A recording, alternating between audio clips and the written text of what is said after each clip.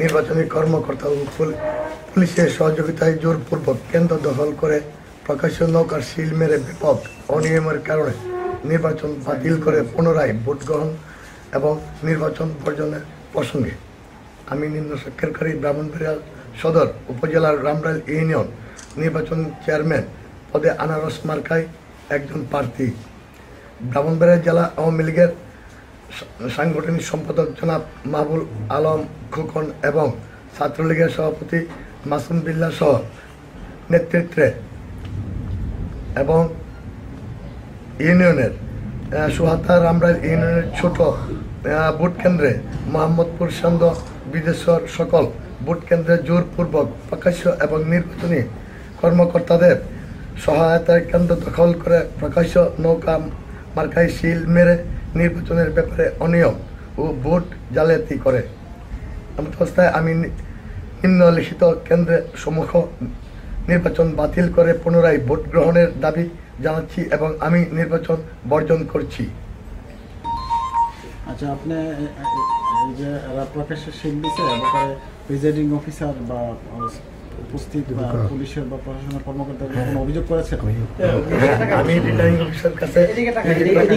আমি রিটার্নিং অফিসারের কাছে লিখিত অভিযোগ করেছি এবং এবং যে সময় টিউনু কর্ম টিউনু মহোদয় এবং ছাত্রলীগের সভাপতি এবং প্রিসাইডিং অফিসার রুমে বসে শিল মারেছে। আপনি যখন এই অভিযোগ যদি দিয়েছেন ওনারা আপনাদেরকে কি বলেছেন? অভিযোগ দেওয়ার মানে দেওয়ার পরে তারা কোনো এখানে শান্তিপূর্ণ ভোট হয়েছে। আমাদের চোখের সামনে শত শত লোকের সামনে তারা এই কাজটি করেছে। লোকজনকে ভোটারদেরকে জিম্মি করে। মানে প্রশাসনের যে পুলিশ বিডিআর জিম্মি করে তারা এই কাজটি করেছে।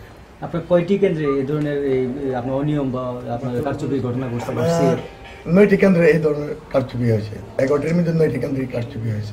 আর দুইটার মধ্যে ভালো ভোট হ্যাঁ দুইটার মধ্যে ভোট গ্রহণ সুস্থ দুইটা কোনটা কোনটা? সরকারি প্রাথমিক বিদ্যালয় এবং উল্চাপাড়া কমিউনিটি হল। ওইখানে কি কি ধরনের অনিয়ম হয়েছে?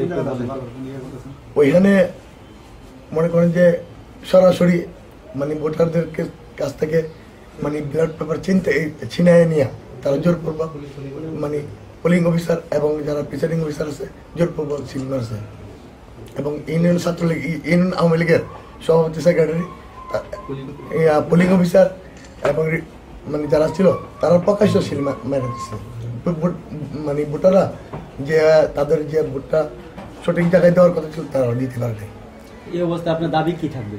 আমাদের আমার দাবি হলো পুনরায় পুনরায় সুস্থ পরিবেশ একটা নির্বাচন দেওয়ার জন্য আমি অনুরোধ করছি।